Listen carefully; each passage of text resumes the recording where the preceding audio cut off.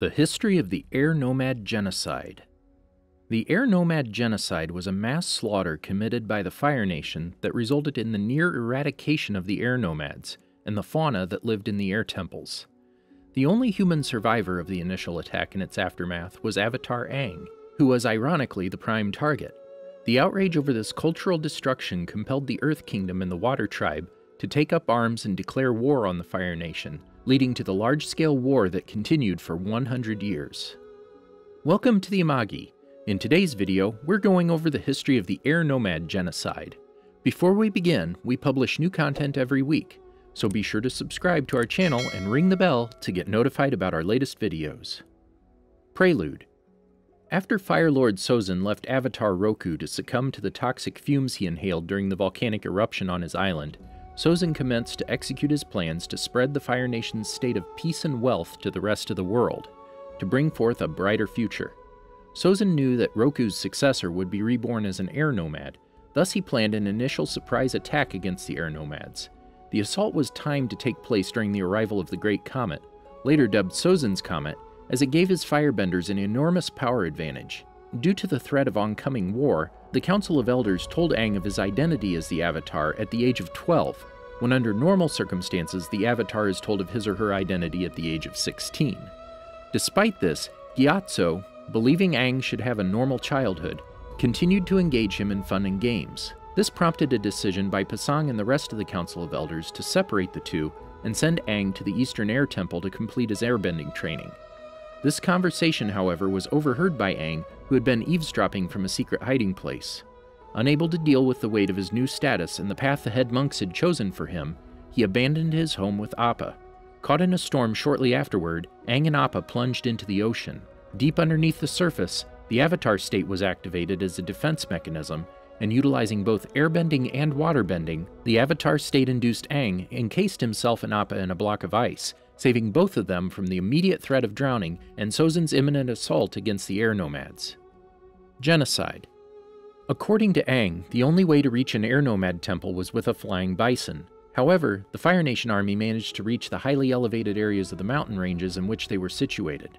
Some temples, such as the Eastern Air Temple, appear to have suffered more damage than others, unlike the still relatively intact Western Air Temple. Despite being a pacifistic culture, the air nomads fought back against their attackers with a fair amount of success, as evidenced by the dozens of firebending corpses surrounding the skeleton of Monk Gyatso. Ultimately, however, they were no match for the sheer numbers and firepower of their opponents. A small number of air nomads escaped the initial attack on the temples and proved too elusive for the Fire Nation to hunt down. Changing tactics, the Fire Lord Sozin removed relics from the temples and had a number of small residences high in the mountains furnished with them giving these places the appearance of being inhabited by other air nomad refugees. Using spies to spread rumors about these safe houses throughout the Earth Kingdom population, Sozin successfully lured the remaining airbenders into the hands of waiting Fire Nation soldiers and eliminated them. Aftermath The only airbender known to have survived the genocide was the one the Fire Nation sought to kill in its quest for world supremacy, the Avatar Aang. By running away from the temple, ignorant of the imminent attacks against the air nomads, he saved himself. Aang, however, later felt guilty about fleeing and believed he could have defeated the invading Fire Nation forces and saved his people if he had stayed. Sozin spent the last 20 years of his life looking for Aang, who by that time had been frozen in a submerged iceberg for several years, and eventually died at the age of 102 without ever finding him. Sozin's legacy to the world was a war that had begun with the Air Nomad Genocide and would last a hundred years. The Air Nomad Genocide was eventually followed by a propaganda campaign in the Fire Nation.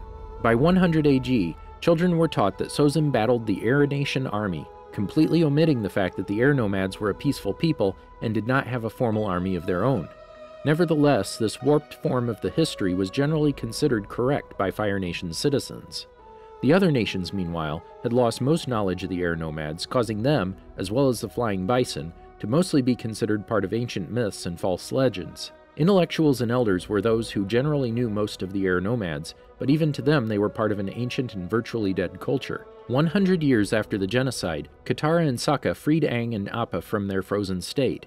Afterward, Aang soon learned of the fate of the air nomads. He revisited his former home, the Southern Air Temple, still hopeful that a few air nomads would have survived the attacks, but he discovered countless Fire Nation corpses along with Gyatso's frail skeleton. His absence during the genocide of his people would frequently plague him, causing many bouts of shame along with feelings of insurmountable grief. However, not all air temples were left alone and in ruins for 100 years. The northern air temple was rediscovered by Earth Kingdom refugees around 90 AG.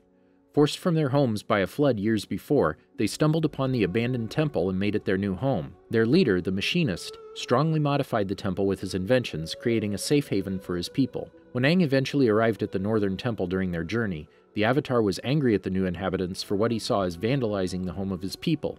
However, Aang relented after seeing Teo's airbender spirit and how the refugees defended their new home against the Fire Nation. Aang stated that just like the hermit crab he saw earlier, they had found a new shell to call home and allowed them to stay. In order to preserve the air nomad culture, Avatar Aang founded the Air Acolytes in 101 AG. Part of an international group of monks and nuns, they carry on the teachings, culture, and traditions of the air nomads through practice and have restored the air temples by 171 AG. Though the airbender population is still crippled beyond sustainability, the population has slowly begun rising with the birth of Aang and Katara's son, Tenzin, who in turn also has a family with three known airbenders, Jinora, Ikki, and Meelo.